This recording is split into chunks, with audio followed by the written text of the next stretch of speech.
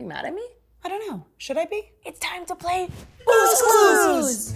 We are gonna play Boo's Clues! It's a children's mystery show, but for adults, because even though we're in our 30s, it doesn't mean we know how to communicate. It is so weird that you do this. Do you know why my boo is mad at me? No. Did I sleepwalk and hook up with someone else? Do you see a thong anywhere? A clue! It's a clue, Clue on the chips. Pay attention. Tortilla chips! You just found our first clue. Time to put it in our handy dandy notebook. All right. Tortilla Tortilla chips. Great job.